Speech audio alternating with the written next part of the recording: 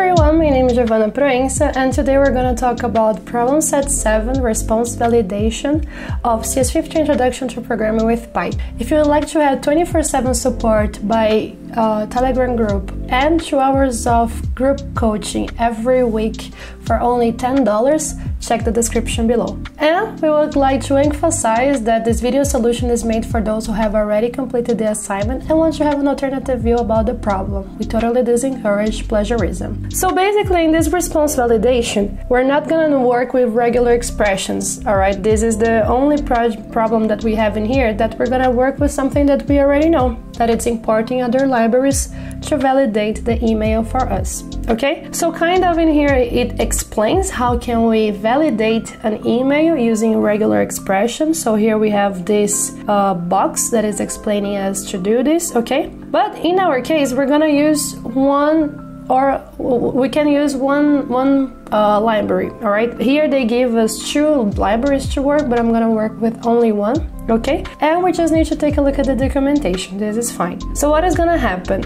We're gonna uh, run our file and we're gonna ask for an email address okay? Then we're going to check if this email address is valid or not. This is our only task in here okay?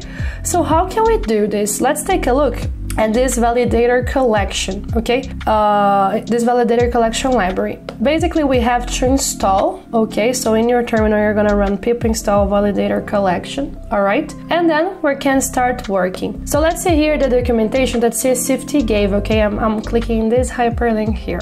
So basically what do we have in this file? We have to import from validator collection, import validators, checkers, and errors. In our case, we just need the validators, all right? And we're going to get the email address using this validators.email. This validators.email, we're, we're gonna try okay? We're gonna try to use this validator's email. And if we get an exception this means that this value does not this email is not valid all right? And if we're able to do the try with success this means that the email is valid okay? So this is basically it we're gonna do. We're just gonna implement the logic that we have from the previous lectures. Okay? So i'm gonna import this line here. Okay? In here. And what are we gonna do? We're going to ask the user for an email address, okay? So email address. To ask the user for email address, we're gonna use the regular input like we normally have, okay? So input, and here the message will be this one that we are seeing in here. What's your email address? Okay? So what's your email address? So we're gonna ask the user for this, okay? And we're gonna do this try and except. We're gonna try to validate the email. If we're able, if we're successful in here, we're gonna print valid. If we go to the except block, this means that is invalid, okay? So we're gonna do exactly this. So try, and what we're gonna do, we're gonna check if email is valid, I'm gonna create a variable called email is valid, okay? And we're gonna use these validators. So how are we gonna do? Here, if you take a look, we have to use this function, validators.email, and inside the parentheses, we're gonna pass the email that we wanna check, all right? The value of email address will now be test underscore dom uh, at domain.dev, okay? So we're gonna pass inside the parentheses of this validators.email the email address we wanna check, okay? So this and what is the email address we want to check? The variable email address. Okay, we're gonna try. If this try blocks is successful, we're gonna print valid.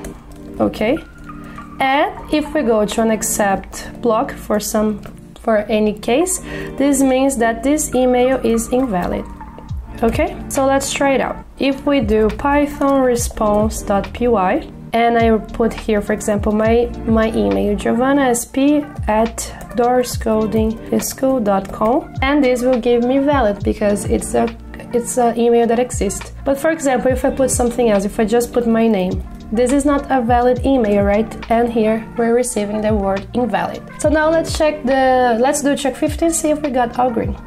So like we can see in here, the check 50 gave us all green, so this means that we finished the code, alright? If you enjoyed this content, please give us a thumbs up, subscribe to our channel. If you have any question, send here on the comment, or if you want to have 24-7 uh, help support from a programming expert by Telegram and two hours weekly of group coaching by Zoom, you can check the description below where you can become one of our students for only $10. Alright? And I hope to see you in the next video. Bye bye.